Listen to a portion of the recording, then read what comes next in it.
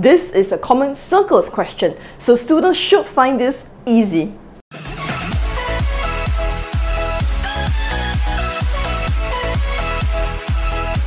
The figure is formed by two identical circles with centers at A and C. ABCD is a square and the length of AB is 15 cm. Find the perimeter of the unshaded part. Find the total area of the shaded parts. Take pi equals to 3.14. In order to be able to finish the entire paper leaving some time for checking, you should finish this question under 4 minutes. Pause the video and get doing.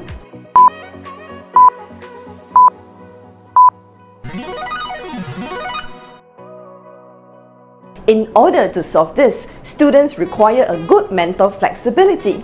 Mental flexibility is one of the most important executive functions that children need in order to solve math problem sums.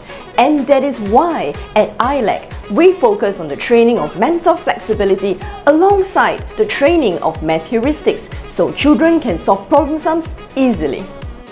Given that A and C are the centers of the circles, the length of AB is therefore also the radius of the circle. Given that squares are 90 degrees at all corners, ABD is a quadrant of the circle. In order to find the circumference of the quadrant, the formula will be pi d, which is 3.14 times 2 times of 15 divided by 4 which will fetch us 23.55 centimeters. Times 2 of that, the entire perimeter of the unshaded part will therefore be 47.1 centimeters. Part B, to find the area of the shaded part, we'll have to remove the unshaded part from one circle and then times 2. Let's start with the area of one circle first, which is pi r square.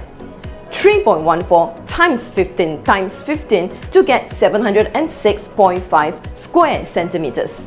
I call the unshaded parts leaf because they look like one and associating them to real objects helps students visualize and remember the method to solve such questions. To find the area of the leaf, simply find the area of the quadrant which is to divide the area of the circle by 4 to get 176.625 square centimeters, minus the triangle, which is half times 15 times 15, which is half times base times height, to get 112.5 centimeters square. Find the difference between the quadrant and the triangle to get half the leaf, which is 64.25 square centimeters. And finally, times 2 to get the area of the unshaded part 128.25 square centimeters. To find the area of the shaded part, minus the unshaded part from the circle and then times 2 that value to get the total area of the shaded parts at 1156.5 square centimeters. If Helen and Ivan's question is a 5 on the flip table index, this question will receive a 3. This is a commonly occurring circles question that involves the leaf. Make sure you are familiar with it. Please like, click subscribe and the notification bell to get notifications for more PSLE questions.